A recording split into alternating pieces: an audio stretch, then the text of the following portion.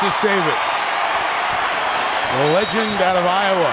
His high school days. Oh, a hard foul as Price went up. And Harpring right in there trying to break that up. He went up airborne and was taken down hard. And Harpring wants justice immediately. The officials will discuss what kind of foul to call. Nobody came off of either bench. Both staffs, Utah and LA, making sure that let's watch Price as he goes up.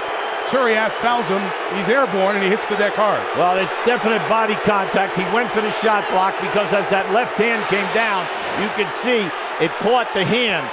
And he just Oh, took cut. Oh, boy, Yeah, Price got a- is split open. He Right. had a big cut on the side of his face, and as he was walking away, Vujacic was in conversation with him, and Sean Corbin broke out of the officials' meeting to separate the two sides. They'll make a determination here, flagrant one or flagrant two, I would imagine.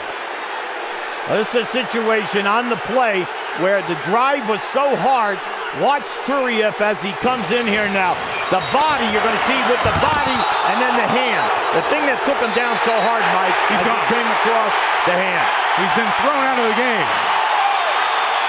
So Ronny Turiaf has been ejected. Phil Jackson asking what he was told.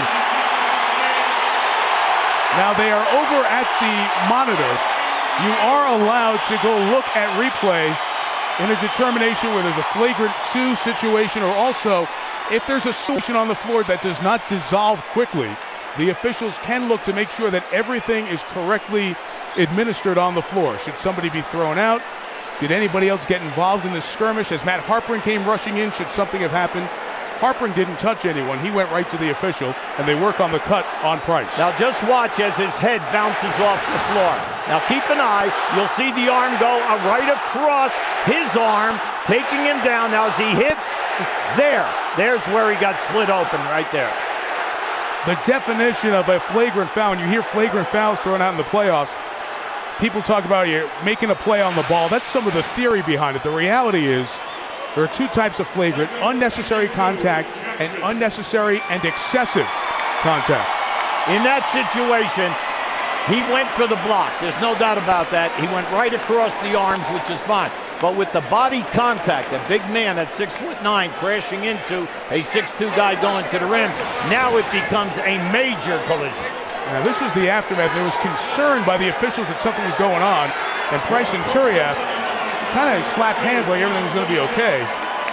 But then, after some questionable words, now Phil Jackson over there with Eddie F. Rush trying to get an explanation. They ended up playing better than Utah did. Well, he said he come down, the body contact, that was a hard smash, but he went for the block across the forearm. But then when he went to the floor, we know he split up. Now